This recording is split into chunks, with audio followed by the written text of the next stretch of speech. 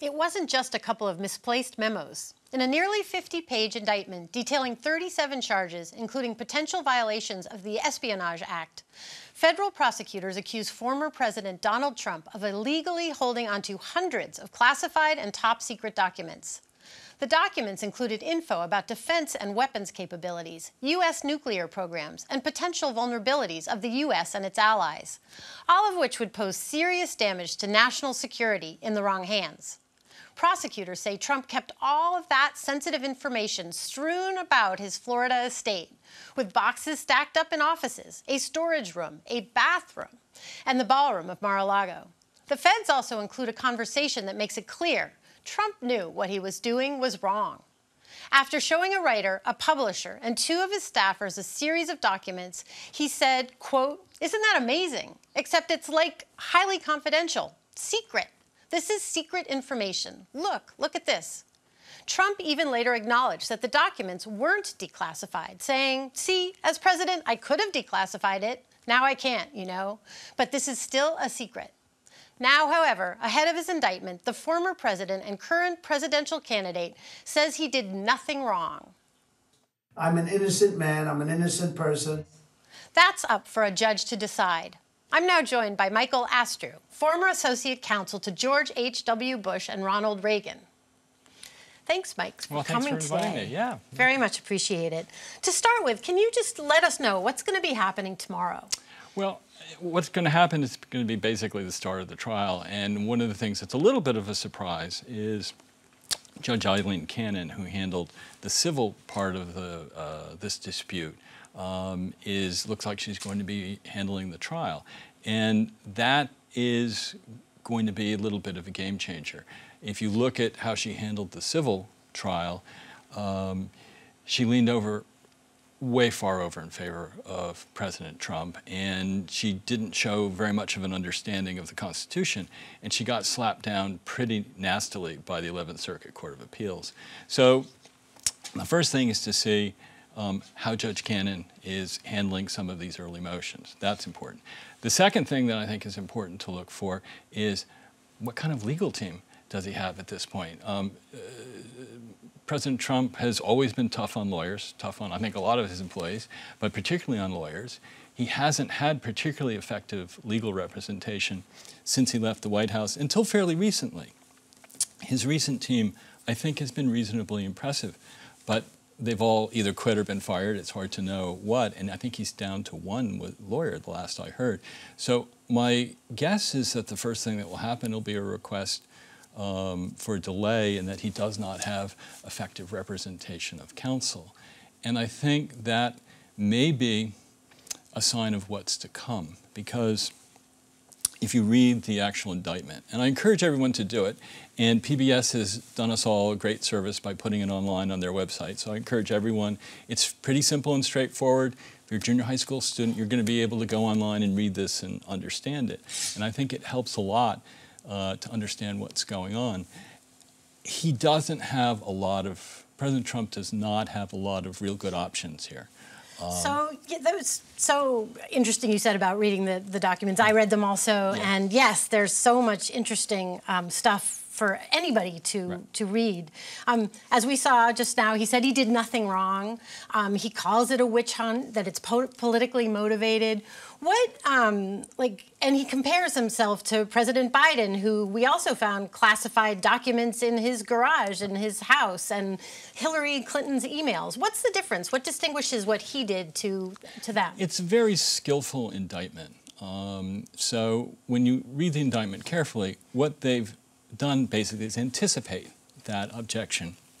And so the actual removal of the documents from the White House to uh, residences in Florida and New Jersey really isn't the basis for any that counts. Everything goes to basically what happened after the government started saying, we need to get these back. And, and did they get them back at that point? Was it truthful? Was there other essentially obstruction? And so that's how they've built their whole case. So it limits the um, president's ability to come back and, and you know, scream uh, selective prosecution. But even if they hadn't done that, it's not much of a defense. There was a 1996 Supreme Court case called Armstrong that pretty much blew out um, selective prosecution as a defense in criminal cases. Peter Navarro, who was a senior official at the Trump White House, tried to raise one recently, and he got blown out of the water in the courts as well. So it doesn't help from a legal matter. The, the only little wedge there is is if you make this case effectively in the court of opinion and it starts infiltrating to, to people who serve on the jury, as much as you try to screen people from that, you can't 100%. Um, and to the extent that that takes, you could see someone, you could see a juror or two holding out because they have this sense of unfairness, even though the judge, if the judge is handling the case correctly, will tell the jury that they're not allowed to consider that. And if the judge breaks ranks again and does something unusual, then they'll have to do it all over again, and the Court of Appeals will tell her exactly um, how she has to instruct the jury. So it's been um, pretty impressive already that we're hearing, or not, that it's expected that we're hearing a lot of supporters of Donald Trump going along with this idea that it's a witch hunt, mm-hmm. and also saying that this is actually a declaration of war, an act of war to the, the um, United States. Um, one of the people who we've heard speak is former gubernatorial candidate Kari Lake from Arizona, who, who said this. If you want to get to President Trump, you're going to have to go through me, and you're going to have to go through 75 million Americans just like me. Most of us are card carrying members of the NRA. How concerned are you about threats of violence like that? Well, I'm very concerned. I mean, um, you know, we've had January 6th. Um, I think that some of the fabric of our democracy has been torn, and people are more willing to resort to violence than in the past. And it's on both extremes. Um, but um, people like Kari Lake um, are deliberately stirring it up, and I think that's reprehensible. When we look at um, before January 6th, or the before that happened to this, where we're what's the difference between then and now? Is there? I mean, is there? We are concerned, but do you, do you think the, the validity of it is, is really there, or what can you tell us about the differences? The differences of before the roll up of January 6th to now, and are we? Is the government more prepared for something, or yeah. is it a different? Are we in a different place? I, I think that. I think we've been moving in this direction um, slowly for a long time and then more aggressively in recent years.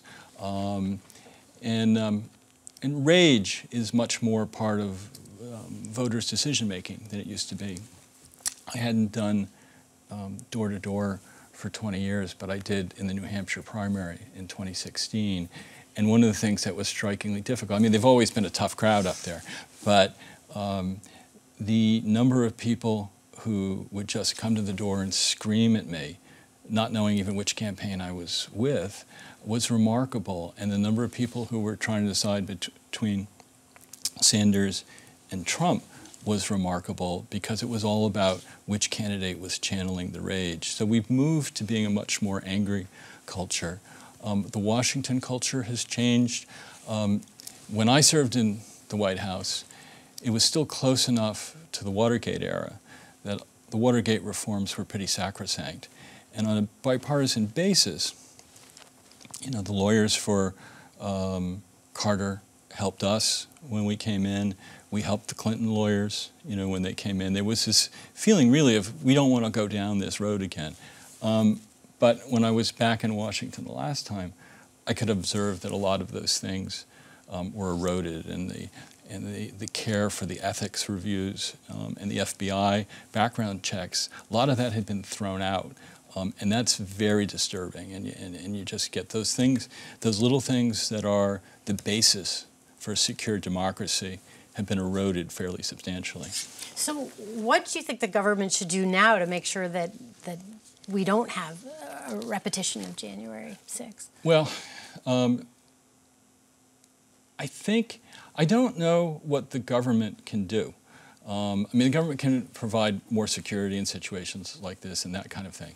But ultimately, you know, this is a cultural problem. We don't believe and protect democracy the way that we once did. And so I think that it's important for groups that can have a say on this to get together, get together on a bipartisan basis, and try to work together to move us back in the direction where we're talking to each other civilly, we're respecting the laws that have been passed, we periodically review the laws to make sure that they still make sense.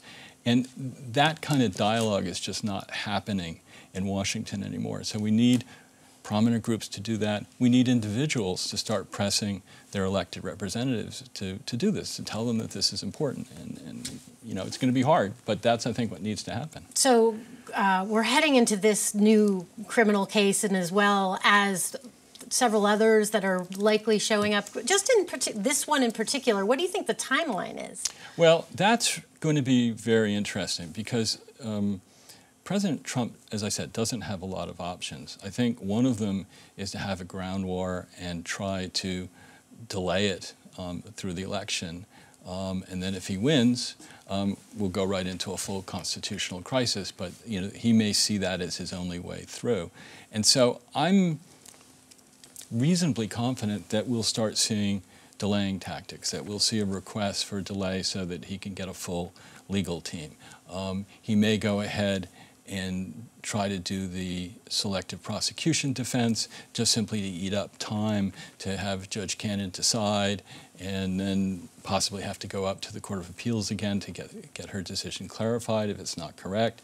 I mean, there's a lot of things that a skilled legal team can do to delay a criminal trial. I mean, you think, I mean, how long did it take to prosecute, you know, the, um, the bombers here? Um, so um, I think we're going to see delaying tactics, and I think the hope is going to be on the Trump side that he wins the election, then he doesn't have to worry about it anymore.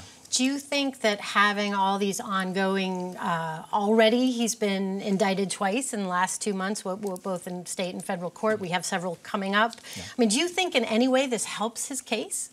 Um, ultimately, I don't think so. I mean, if you read the, the polls, um, it hasn't had the impact that it traditionally, um, this kind of result would have. And I think that goes back to my point before that Americans are so angry that they're really not looking at things with a, a, clear eye.